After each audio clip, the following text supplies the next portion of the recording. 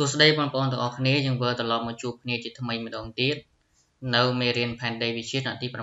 9ដែលបង្រៀនដោយលោកគ្រូឈ្មោះកុនសុកលៀងជាគ្រូបង្រៀននៅវិទ្យាល័យហ៊ុនសែនពីមជីកងក្នុងកម្មវិធីសាលារៀនចំនួនថ្មីក្នុងសប្តាហ៍នេះលោកគ្រូនឹងនាំបងប្អូនទៅសិក្សាចម្ពោះថ្មី គឺចម្ពោះទី3ដែលនិយាយអំពីបញ្ហាបរិស្ថាននៅលើពិភពលោកហើយយើងនឹងសិក្សានៅមេរៀនទី1គឺសំណរឹង ប៉ុន្តែមុននឹងឈានចូលទៅដល់មេរៀនថ្មីក្នុងសប្តាហ៍នេះ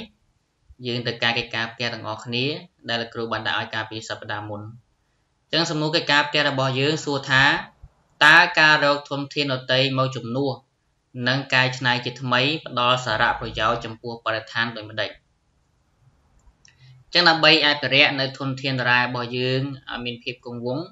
យើងត្រូវតែស្វែងរកនៅធនធានដតីផ្សេងទៀតមកជំនួស និងធ្វើការកែច្នៃជាថ្មីដើម្បីឲ្យធនធានរ៉ែរបស់យើង មានភាពថិតថេរចឹងសំណួរនេះគេសួរថានៅពេលដែលយើងរកធនធានដតីមកជំនួសហើយតើវាបានផ្ដល់សារៈប្រយោជន៍ចំពោះបរិស្ថានដូចម្ដេចចឹងតើសំណួរកិច្ចការផ្ទះនេះបងប្អូនទាំងអស់គ្នាបានធ្វើដែរឬទេលោកគ្រូសង្ឃឹមថាបងប្អូនបានធ្វើទាំងអស់គ្នាចឹងកុំឲ្យខាតពេលវេលាយើងទៅមើលចម្លើយទាំងអស់គ្នា ការរកទុនធានអតីមកចំនួននិងកែច្នៃជាថ្មីបានផ្ដល់សារៈប្រយោជន៍ចំពោះបរិស្ថានដូចជា ទី1ពន្យារយៈពេលនៃការផ្គត់ផ្គង់រ៉ែតាមការកាត់បន្ថយបរិមាណរុក្ខធាតុដែលត្រូវទាញយកទី2ទាមទារធម្មពលតិចជាងការទាញយករ៉ែពីក្នុងដីហើយទី3ការមានការបំពុលតិចនឹងធ្វើឲ្យខូចខាតដីតិច ហើយទី4បន្ថយថ្លៃចាក់សំណល់ចោលនិងកាត់បន្ថយផលប៉ះពាល់បរិស្ថាន នៃការទាញយកឬការធ្វើប្រតិកម្មរ៉ែ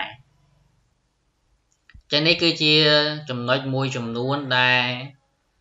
ជាសារៈប្រយោជន៍ចំពោះបរិស្ថាននៅពេលដែលយើងរកធនធានអតីមកជំនួសនិងកែច្នៃជាថ្មីចឹងនេះគឺជាចម្លើយកិច្ចការផ្ទះរបស់យើង ចឹងបងប្អូនសូមទៀងទាត់ជាមួយនឹងចម្លើយបងប្អូនហើយបងប្អូនគាត់ចូលក្នុងសភៅផងចឹងយើងមុនឈាននឹងចូលទៅដល់មេរៀនថ្មីក្នុងសប្តាហ៍នេះយើងទៅរំលឹកមេរៀនដែលយើងបានសិក្សារួចមកហើយកាលពីសប្តាហ៍មុនបន្តិចចឹងយើងសប្តាហ៍មុនយើងសិក្សាអំពីរ៉ែនិងផូស៊ីអ៊ីនធឺណិតណាអញ្ចឹងរ៉ែគឺជាអង្គធាតុរឹងអសរីរាង្គកើតឡើងដោយធម្មជាតិក្នុងសម្បូរផែនដី ដែលមានទម្រង់ជាក្រាម ហើយគេចែករ៉ែជាពីរប្រភេទគឺរ៉ែស៊ីលីកាត និងរ៉ែគ្មានស៊ីលីកាតហើយតកតងទៅនឹងផលប៉ះពាល់នៃការប្រើប្រាស់រ៉ែចំពោះបរិស្ថាន គឺមានដូចជា ការបោះបង់ដីចោល ការសុតដី ការបំពុលនិងការរំខានដោយសូរស័ព្ទនឹងគឺជាផលប៉ះពាល់នៃការប្រើប្រាស់រ៉ែចំពោះបរិស្ថានគឺយើងជីកឬក៏យើងទាញយករ៉ែមក ប្រើប្រាស់តាមតម្រូវការរបស់យើង ដែលវាផ្ដល់ផលប៉ះពាល់ទៅលើបរិស្ថាន ដែលមានចំណុចដូចខាងក្រោមនេះមួយទៀតតកតងទៅនឹងផូស៊ីអន្តរៈណាបងប្អូនដឹងហើយថាផូស៊ីអន្តរៈគឺជាសំណៅសំណល់រុក្ខជាតិឬក៏សត្វដែលបានងាប់រលួយអរិយៈពេលជាយូរលងមកហើយជាច្រើនឆ្នាំមកហើយចឹងតើទៅនឹងផូស៊ីអន្តរៈគេចែកចេញជា3ប្រភេទគឺធ្យូងថ្ម ប្រេងនិងឧស្ម័នធម្មជាតិចឹងតើតងទៅនឹងផលប៉ះពាល់នៃការប្រើប្រាស់ផូស៊ីអន្តរៈវិញចំពោះបរិស្ថានគឺមានដូចជាការបញ្ចេញកម្ដៅនិងសារធាតុពុលទៅក្នុងបរិយាកាសដែលធ្វើឲ្យបរិយាកាសសម្បូរដោយសារធាតុពុលការបង្កើតឲ្យមានភ្លៀងអាស៊ីតដែលអាចសម្លាប់ជីវិតសត្វរុក្ខជាតិនិងប៉ះពាល់ដល់សុខភាពមនុស្សផងដែរណាអញ្ចឹងវាមានអឺ សារធាតុពុលជាច្រើនបានសាយភាយទៅក្នុងបរិយាកាសហើយក៏វាអាចធ្វើឲ្យមានការបង្កើននៅភ្លៀងអាស៊ីតកើតឡើងនៅពេលដែលធ្លាក់មកលើផ្ទៃផែនដីរបស់យើងវិញវាអាចធ្វើឲ្យប៉ះពាល់ទៅដល់ជីវិតសត្វរុក្ខជាតិហើយអាចប៉ះពាល់ទៅដល់សុខភាពមនុស្សយើងផងដែរហើយតើតើទៅនឹងសំណល់គាផ្សេងផ្សេងធ្វើឲ្យសឹករិចរើតើតើទៅនឹងភ្លៀងអាស៊ីតនេះផងដែរចឹងនេះគឺជាចំណុចមួយចំនួនដែលយើងសិក្សារួចមកហើយតើតើទៅនឹងមេរៀនចាស់ ចឹងក្នុងសប្តាហ៍នេះយើងចូលមេរៀនថ្មីយើងតែម្ដងគឺមេរៀនទី1សំណររឹងដែលស្ថិតនៅក្នុងចម្ពោះទី3ហើយខ្លឹមសារមេរៀនដែលយើងត្រូវសិក្សាថ្ងៃនេះគឺចំណុចទី1និយមន័យនិងចំណុចទី2ប្រភពសំណររឹងហើយវត្ថុបំណងនៅក្នុង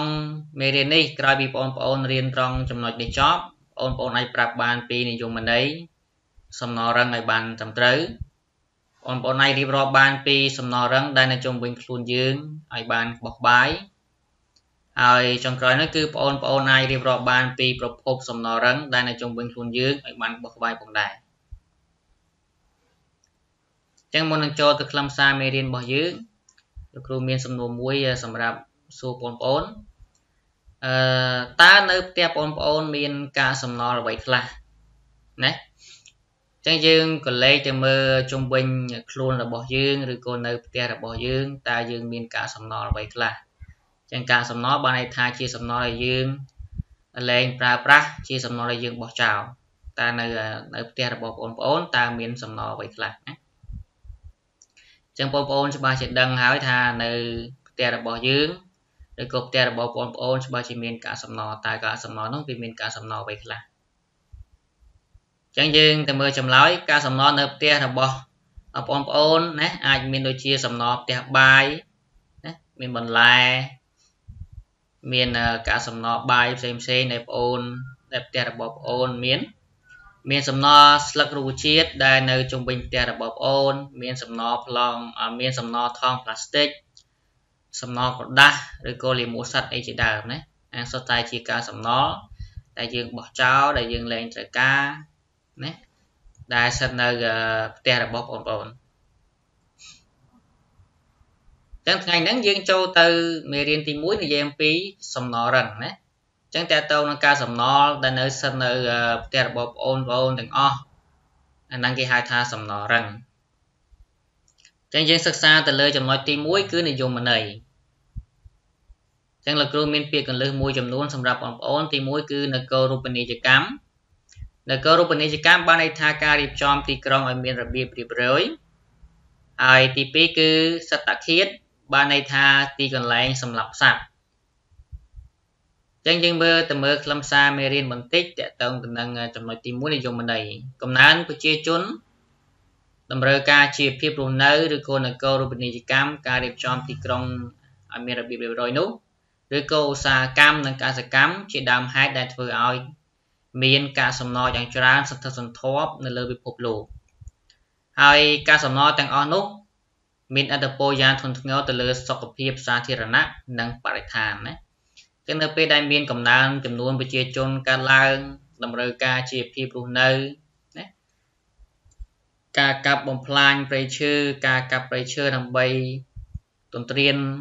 រស់នៅដើម្បីធ្វើអាជីវកម្មឬក៏ដើម្បីធ្វើកសកម្មអីផ្សេងផ្សេង វាសុទ្ធតែប៉ះពាល់ទៅលើបរិស្ថានអញ្ចឹងតកតងទៅនឹងបញ្ហាទាំងអស់ខាងលើនេះគឺវាបានធ្វើឲ្យមានឥទ្ធិពលយ៉ាងធ្ងន់ធ្ងរទៅលើបរិស្ថានណាហើយវាពាក់ព័ន្ធជាមួយនឹងសុខភាពសាធារណៈផងដែរណាចឹងយើងមើលនេះគឺជាការប្រែប្រួលនៃបាជាការប្រែប្រួលនៃបរិស្ថានដូចជាការរីងស្ងួតពួតហែងដីព្រែកហែងនេះដោយសារមានការប្រែប្រួលបរិស្ថាន បរិយាកាសមានអាកាសធាតុអាប់អួរបរិយាកាសសម្បូរទៅដោយសារធាតុពុលណាផ្សែងអាប់អួរក៏វាមានការប្រែប្រួលទៅទៅនឹងអាកាសធាតុផងដែរចឹងសំណួរទី1សួរថាដោយម្ដេចដែលហៅថាសំណរឹងណាចឹងតើសំណរឹងជាអ្វីចឹងសំណរឹងគឺជារូបធាតុទាំងឡាយណា ក្នុងរូបភាពរឹងដែលគេបោះចោលក្នុងបំណងឈប់ប្រើបន្តទៀត ប៉ុន្តែការសំណល់ទាំងនោះត្រូវបានប្រមូលទៅកែច្នៃហើយប្រើប្រាស់ឡើងវិញឬប្រើប្រាស់ក្នុងគោលដៅផ្សេងផ្សេងទៀតណាចឹងមានន័យថាសំណល់រឹងគឺជារូបធាតុទាំងឡាយណា ដែលនៅក្នុងរូបភាពរឹងណារូបភាពរឹងគេហៅថាសំណល់រឹងដែលគេបោះចោលលែងប្រើប្រាស់ប៉ុន្តែការសំណល់ទាំងអស់នោះគេអាចយកទៅកែច្នៃឬក៏ប្រើប្រាស់ឡើងវិញឬក៏យកទៅប្រើប្រាស់ក្នុងគោលដៅផ្សេងផ្សេងទៀត អាហ្នឹងគេហៅមួយយ៉ាងគេបានថាគេហៅថាការកែច្នៃជាថ្មីណានៅពេលដែលគេយកការសំណល់ទាំងអស់ហ្នឹងទៅកែច្នៃឬក៏ប្រើប្រាស់ឡើងវិញឬក៏យកទៅប្រើប្រាស់ក្នុងគោលដៅផ្សេងផ្សេងទៀតគេហៅថាការកែច្នៃជាជាថ្មីនេះនៅយើងមើលរូបភាពនេះគឺតកតងនឹងសំណល់រឹងនៅក្នុងរូបភាពរឹងណាដែលគេបោះចោលគេលែងប្រើបន្តនឹងគេហៅថាសំណរឹង ជាងចូលទៅសំណួរមួយទៀតតើគេចែកតើគេអាចចែកកាកសំណល់ជាប៉ុន្មានប្រភេទអ្វីខ្លះចឹងគេអាចចែកការសំណល់ជា3ប្រភេទគឺសំណល់រឹងរាវនិងអ៊ូស្មានណានេះយើងមើលសំណល់រឹងគឺជាប្រភេទដែលមានរូបភាពរឹងណាហ្នឹងគេហៅថាសំណល់រឹងមានដូបមានកំប៉ុងមានអីចឹងទៅ អាចតទៅនឹងការសំណល់រាវគឺជាការសំណល់មួយដែលចេញពីរោងចក្រទៅចេញពីរមណីយដ្ឋានចេញពីស្ថាគារឬចេញពីគេអដ្ឋានរបស់យើងដែលបង្ហូរចូលទៅក្នុងប្រភពទឹកអីផ្សេងផ្សេងនឹងគេហៅថាសំណល់រាវហើយមួយទៀតនោះគឺតកតងទៅនឹងសំណល់ជាឧស្ម័នណាជាឧស្ម័នណាផ្សែងចេញពីរោងចក្រ ផលិតនុយក្លេអ៊ែរឬក៏រោងចក្រផលិតអីផ្សេងផ្សេងទៀតឬក៏ចេញពីគេអដ្ឋានរបស់យើងចេញពីភោជនីយដ្ឋានផ្សេងផ្សេងគេហៅថាកាកសំណល់ដែរប៉ុន្តែជាកាកសំណល់ឧស្ម័នដែលវាធ្វើឲ្យបំពុលទៅលើបរិយាកាសណាធ្វើឲ្យមានធ្វើឲ្យបរិយាកាសមានការប្រែប្រួលអាហ្នឹងគេហៅថាប្រភេទនៃសកសំណល់អញ្ចឹងសរុបមកគឺគេអាចចែកការសំណល់ជា3ប្រភេទហ្នឹងទី1គឺសំណល់រឹងរាវហើយនិងឧស្ម័ន ចឹងយើងចូលដល់ចំណុចទី2តកតងទៅនឹងប្រភេទសំណល់រឹងណាចឹងសំណួរសួរថាតើសំណល់រឹងមានអ្វីខ្លះសំណល់រឹងមានអ្វីខ្លះចឹងបើយើងក៏លេខទៅមើលជុំវិញខ្លួនរបស់បងប្អូនបងប្អូនអាចរៀបរាប់បានទេតើសំណល់រឹងមានអ្វីខ្លះណាឥឡូវគ្រូឧទាហរណ៍តកតងទៅនឹងសបកដូបសបកអាកំប៉ុងឬក៏ផ្លាស្ទិកกระดาษអីផ្សេងផ្សេងហ្នឹងគេចាត់ចូលវាទៅជាសំណល់រឹងហើយណា ចឹងឥឡូវយើងមើលចម្លើយទាំងអស់គ្នាចឹងសំណល់រឹងគឺមានច្រើនគឺមានច្រើនណាដូចជាទី1គឺក្រដាសថង់ផ្លាស្ទិកកំទេចកំណាត់បន្លែផ្លែឈើសម្បូរកំប៉ុងឬសម្បូរដូបសំណល់ចេញពីរោងចក្រថ្នាំសម្លាប់សត្វល្អិតណាថ្នាំពណ៌កំប៉ុងសំណល់ផ្ទះបាយសំណល់ពីស្លឹករុក្ខជាតិសំណល់ពីមន្ទីរពេទ្យណា ដូចជាសម្បកថ្នាំបញ្ចូលចាក់ថ្នាំឬក៏បងរំរបួសជាដើមហ្នឹងសុទ្ធសឹងតែជាសំណល់រឹងណាហើយនៅជុំវិញខ្លួនរបស់បងប្អូនឬក៏នៅជុំវិញផ្ទះផ្ទះរបស់បងប្អូនគឺសុទ្ធតែមានសំណល់រឹងទាំងអស់ណាដូចជាសំណល់ផ្ទះបាយសំណល់ពីស្លឹករុក្ខជាតិបន្លែផ្លែឈើឬក៏กระดาษអីផ្សេងផ្សេងហ្នឹងគឺជាសុទ្ធសឹងតែជាសំណល់រឹងដែលស្ថិតនៅជុំវិញខ្លួនរបស់បងប្អូនហើយ ណាចាំមើលយើងមើលរូបភាពទាំងអស់គ្នាតើតើទៅនឹងប្រភេទសំណល់រឹងណានេះបន្លែផ្លែឈើដែលយើងបោះចោលណាយើងលែងត្រូវការហើយមានសបកដូបសបកកំប៉ុងណាសបកដូបថ្នាំមានសម្ភារៈតទៅទៅនឹងពេទ្យឬក៏กระดาษផ្សេងផ្សេងកសែតអីហ្នឹង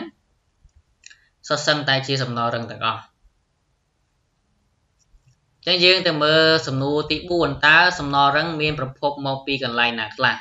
ចឹងបន្ទាប់ពីយើងដឹងថាសំណល់រឹងវាមានអីខ្លះឥឡូវយើងមើលពីប្រភពវាវិញចឹងប្រភពនៃសំណល់រឹងហ្នឹងតើមកពីកន្លែងណាខ្លះណា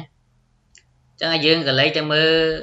នៅជុំវិញផ្ទះរបស់បងប្អូនវាមានសំណល់រឹងមួយហើយចឹងតើបងប្អូនអាចដឹងទីថាថានៅកន្លែងណាទៀតដែលមានប្រភពដែលជាប្រភពនៃសំណល់រឹងចឹងយើងមើលចម្លើយសំណល់រឹងគឺមានប្រភពមកពីលំនៅឋានទីផ្សារ អគារពាណិជ្ជកម្មមជ្ឈមណ្ឌលគ្រប់គ្រងស្បៀងអាហារសន្តាគារភោជនីយដ្ឋាន ហាងលក់ទំនិញអ្នកលក់ដូរតាមផ្លូវសាធារណៈវត្តអារាមសាលារៀនតំបន់ទេសចររោងចក្រមន្ទីរពេទ្យនិងកន្លែងផ្សេងផ្សេងទៀតដែលនៅជុំវិញខ្លួនរបស់យើងនឹងឯងណា